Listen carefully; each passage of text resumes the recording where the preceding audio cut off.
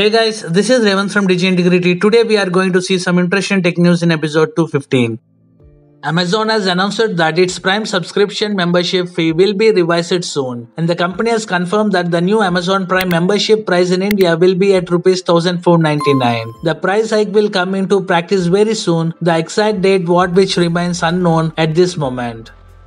The Amazon Music service rolled out limited support for spatial audio in 2019. Today it adds support for more devices and even more albums you can listen to. This feature is free for subscribers on the unlimited tier. 360 Reality Audio is now supported on Sony's SRS RA5000 or SRS RA3000 wireless speakers, as well as home theater systems like HTA9, HTA7000 and HTA5000. Amazon's Echo Studio is also supported too of course. This works through Alexa on Android and iOS devices. Dolby Atmos support for the Sonos Arc and Beam soundbars is coming in the next few months.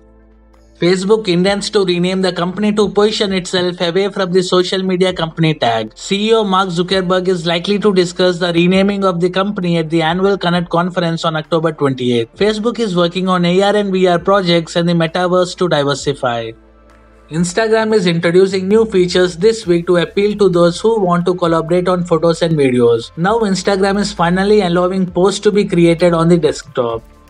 HT Aero has just raised more than 500 million US dollars from outside investors, and the company is backed by the Chinese electric vehicle maker Xpeng and is aiming on rolling out its flying vehicles in the year 2024.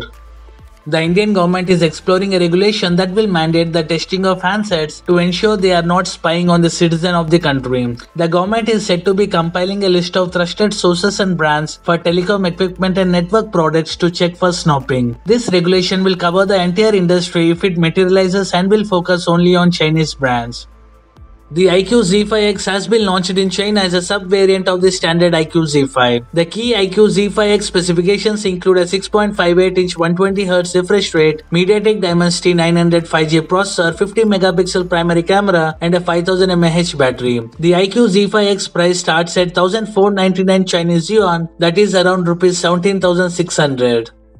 JioPhone Next has appeared on the Google Play console listing. The listing shows the phone will ship with a Snapdragon 215 processor, HD Plus display, Android 11 OS and a 2GB of RAM. JioPhone Next is touted to be one of the cheapest 4G smartphone in the country. Squid Game helped Netflix post a good quarter after a slow first half. Netflix added over 4 million subscribers from July to September period. Netflix is aiming at 8.5 million new subscribers by the end of 2021. PUBG New State teased to get the launch trailer soon along with a big announcement. The big announcement could likely to release date for the PUBG New State. The PUBG New State promises to be a brand new take on the Battle Royale format with the inclusion of advanced and futuristic gameplay. Redmi Note 11 series is launching on October 28th in China. The lineup should include three variants Redmi Note 11, Note 11 Pro and Note 11 Pro Max or Plus. This brand has teased the first look of the Redmi Note 11. Redmi has confirmed the Redmi Watch 2 launch date for China. The company will be announcing it at 7 pm on October 28th. It will be unveiling along with the Redmi Note 11 series of smartphone. Xiaomi 12 series could arrive at the start of next year. It will have a significant improvements over Xiaomi's 11 series. Xiaomi 12 series should be powered by a Qualcomm Snapdragon 898 chipset. Samsung gave you an option to customize the ink cover of the Galaxy Z Fold 2. It has extended the idea with a new bespoke studio starting with the Galaxy Z Flip 3 Bespoke Edition. The Galaxy Watch 4 series joined the fun as well but not the Z Fold 3. The Galaxy Bespoke Studio lets you choose the color of the front black and the frame of the phone. Right now you can pick between black and silver for your frame. For the front and black you have following options like blue, pink, yellow, white and black. Note that the camera island remains black no matter what options you choose. Overall, this gives you a 49 color combination to choose from and some color combos overlap with already existing paint jobs for the Z Flip 3. Later on, you will have an option to buy new panels and swap out the ones that your phone came with.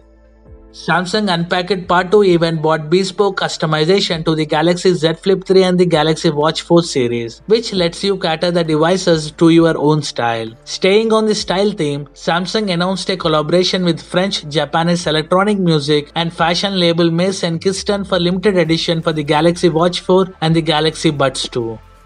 China's leading smartphone maker Oppo is developing high-end mobile chips for its premium handsets in a bid to gain control over core components and reduce its reliance on foreign semiconductors suppliers like Qualcomm and MediaTek. The world's fourth largest smartphone maker by shipments plans to use its own mobile system on chip in phones will out in 2023 or 2024. It will be decided based upon the speed of the development. Oppo thus joined the race of smartphone makers including Apple, Samsung and Xiaomi that are developing their own processor. Google on Tuesday unveiled the Pixel 6, its first smartphone using its Tensor mobile processor. Developing key chips in-house could also enhance supply chain control and possibly soften widespread shortages and disruptions. Earlier this year, in the month of April, Honor had launched a smartphone dubbed as Honor Play 5T Vitality Edition for the price of 1299 Chinese yuan. Now the company is all set to launch a new smartphone under the Vitality Edition branding in China. Today, Honor has confirmed by teasing a teaser poster that the Honor Play 5 Vitality Edition will be officially launched in the company's home market China on 25th October. We expect the company to share more details about the phone through teasers in the coming days. Thanks for watching this video. Please kindly support my channel by giving a like, share and subscribe. And follow Digi Integrity on Twitter, Instagram and Facebook.